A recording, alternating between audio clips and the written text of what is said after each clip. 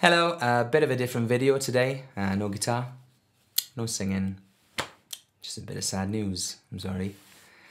I've been gigging for about eight years now, and if you've been at the end of every gig, end of every busk performance, um, I always ask everyone to find me on social media uh, Facebook, Instagram, Twitter, YouTube, wherever's popular at the time, whatever platforms people have. And um, mainly because I thought it was the best way for us to keep in touch um, the best way to get to know each other a little bit, um, the best way to let you know when I'm in the area and when I have some new songs out.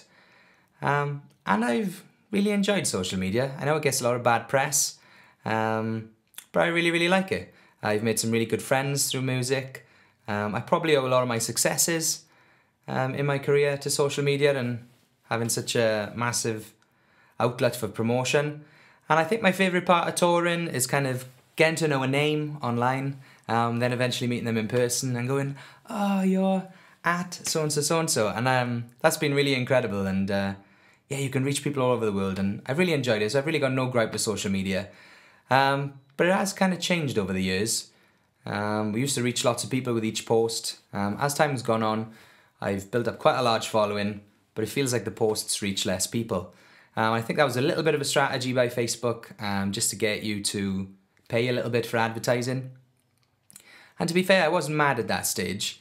Um, I just kind of I felt yeah I really appreciate the the platform and the the opportunity it provides. Um, so I did just that, and yeah, I've been happy to pay for the services and create adverts, and it's amazing how you can target people who like music similar to yours and create new fans.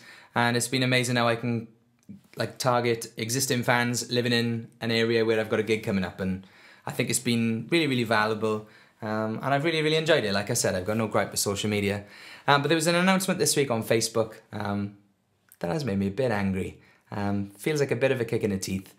Um, the announcement this week was a little bit vague, um, but they've said that from now on, from October 1st, we will not be able to use videos to create a, a music listening experience.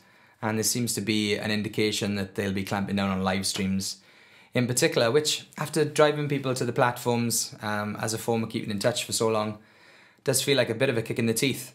And you know that you can set up a musician page on Facebook, and I guess if you if they had a long term intent of not being able to release music on Facebook, then that seems a little bit misleading. Um, so that was uh, yeah, it was a little bit peed off to see the to see the announcement.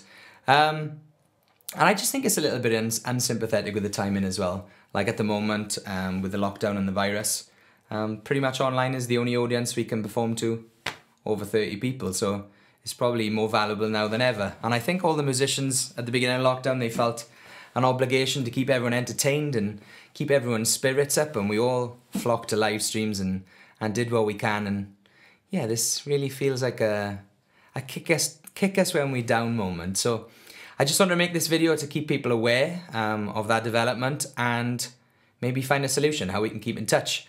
Um, so if you want to keep up to date with my new music and where I'm going to be performing and just all things John Adams, um, you can head over to my website, um, which is johnadamsmusic.co.uk, and there's a subscribe button there.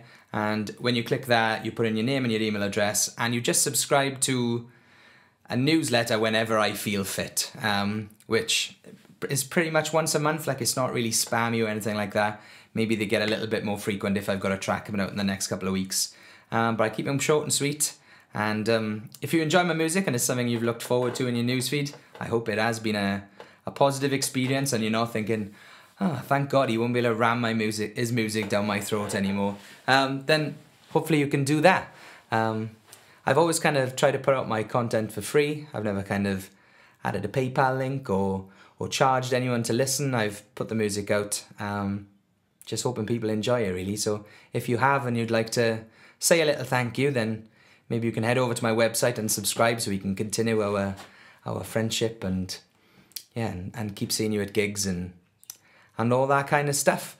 But also, if you wanted to help one step further, um, another thing that Facebook does is if you put a link in the description of your post um, they don't show many people because they don't want people to click the link and leave the platform. So if you could try and help me spread this post organically, um, that would be great. I think the best way to do that uh, would either be to share it directly um, or maybe tag a friend um, that also likes my music in the comments below. So yeah, that's the update. Music might be coming to a halt on Facebook, and if you'd like to keep up to date with everything that I'm doing, head over to johnadamsmusic.co.uk and click subscribe. Hope you're well, and hopefully this is in vain and it doesn't change anything. Take care, see you soon. Bye.